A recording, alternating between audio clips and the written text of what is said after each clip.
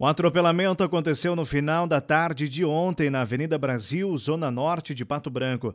Uma mulher acabou sendo atropelada por um veículo no momento em que atravessava a rua, por volta de 17 horas e 20 minutos.